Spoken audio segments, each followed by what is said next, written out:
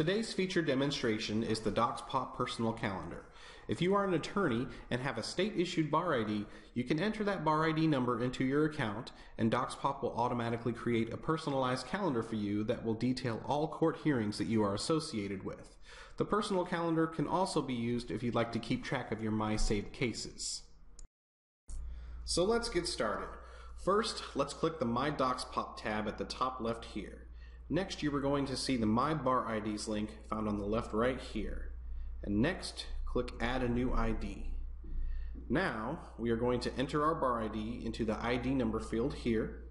You can most likely leave the top two fields as is, but go ahead and double check those to make sure that they are correct. If you wish to receive email notifications about any changes to your hearings, you can select the first radio button here to enable email alerts. If you do not wish to receive email alerts, select the View Events and Calendar Only option, and now let's click Done. So now you will see the page where all bar IDs on your account are presented. You will see the options to edit or delete your bar ID, and you will also see the option to enable or disable email notifications here. Now let's go check out how our calendar works. On the left here, you will see the My Calendar link. Let's go ahead and click there.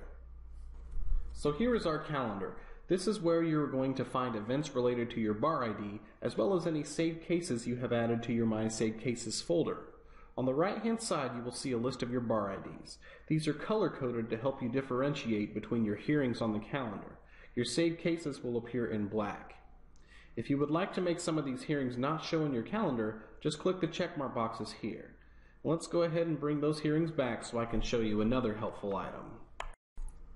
If you click on one of your events, you will see a general summary of the case here. If you would like to view more information on that case, click the case ID number and that will take you directly to your case. The best part is that you won't even be charged to search when looking at your cases through your calendar. Now let's take this even one step further. Let's say you use another calendaring software like Microsoft Outlook or Google Calendar. If you click the subscribe to iCal feed link right here, you will be directed to a page with instructions of how to sync your Doxpop calendar to other calendaring software. Just select the software you use and you will see the step-by-step -step instructions displayed right here. So now you know all there is to know about Doxpop personal calendars. If you have any questions, shoot us an email at support at doxpop.com.